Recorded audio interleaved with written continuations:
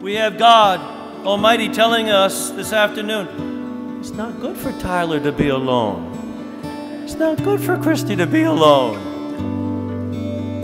This is part of God's eternal plan. God, who is love, created us out of love for love. We were created for relationships. So, to Christy and Tyler, I offer this speech to you. May you be poor in misfortune, rich in blessings, slow to make enemies in anger, quick to make friends and forgive.